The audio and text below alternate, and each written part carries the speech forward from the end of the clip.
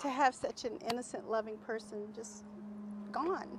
You know, it just breaks my heart. Wedding photos of Catherine Kennedy taken just three years ago, as she and her husband said I do in front of friends and family. The Escondido mom, a longtime and very active member of St. Timothy Catholic Church, was leaving the church last night driving down Grand Avenue near Midway Drive.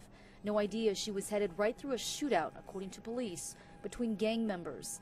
Kennedy was hit in the head by a stray bullet. She crashed her Toyota several feet down the block.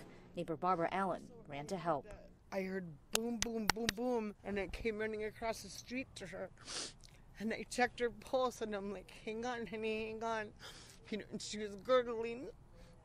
And she was still alive, and then the ambulance came, and that was it. The 55 year old leaves behind her husband, Kevin Kennedy, who was a staff member at the church.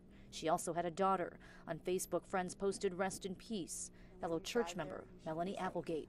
You should be safe driving through your town that you love. Gosh, it's just not fair. You know, it is just not fair. Doors of the dentist office where Catherine worked as a dental hygienist were closed today. A photo of her and a sympathy card sit on the counter. Yeah, I'm extremely angry. This is this is a senseless death. This should not have happened. Escondido Police Chief Craig Carter says his department will find out who did this. He says they believe the shootout stemmed from the Pepperwood Meadows condo complex. And I don't often call out an individual location, but I got to tell you that my frustration level is very high. A sheriff's Astrea helicopter circled the area late Wednesday as detectives continued to gather evidence. Meanwhile, those who knew and loved Catherine say her faith was very important to her. Their faith, they believe, will get them through this.